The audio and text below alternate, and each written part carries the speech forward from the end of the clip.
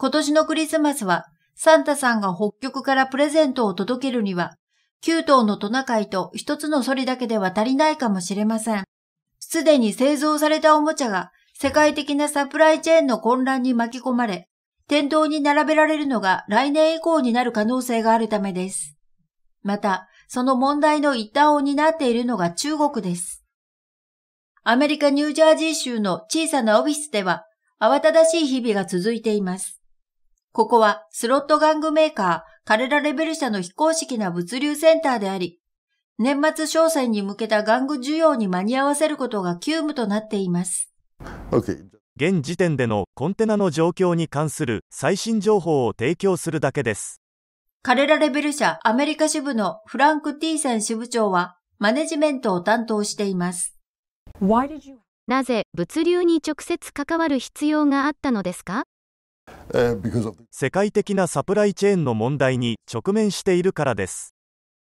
貨物船、オーダー番号、品物の到着日などを正確に把握する必要があります。朝一番に倉庫の滞留状況を確認するのが日課となっています。カレラレベル社のスロットカーは中国の倉庫で止まっており、出荷を待機しています。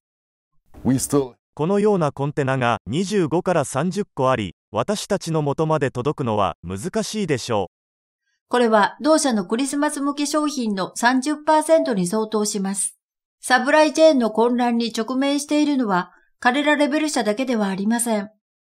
港の混雑により、5月に出荷されたコンテナが、最近アトランタにある彼らレベル社の倉庫に到着したばかりです。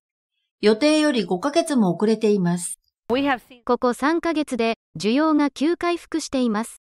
アンジェラ・ヒッグス氏は彼らレベル社の貨物輸送会社を経営しています。玩具を受け取って早急に小売店に届けることが任務です。次から次へと遅延が発生し、もちろん我々は何度も何度も催促してきましたが、現在はすでに遅延は避けられなくなりました。アメリカのほぼ全ての港が混雑に直面している中、倉庫はすべての港を利用し、機能するサプライチェーンをつなぎ合わせています。私たちはできる限りのことをしています。そうしないと、これらの商品がお店に届けられないのです。おもちゃを買えない人が出ないようにしたいと思っています。物流の停滞解消に向け、アメリカのバイデン大統領は先日、入港待ちのコンテナ船からの荷上げのため、カリフォルニア州の2つの主要港が24時間体制で稼働することを発表しました。しかし、T 選手はこの取り組みは直面する問題を回路から陸路にずらしただけだと述べています。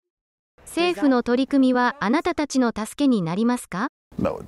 いえ、役に立ちません。コンテナを船から下ろした後に発生する問題を軽減することはできません。それは陸上でコンテナを移動させるためのトラックや貨物列車が十分に用意されていないためです。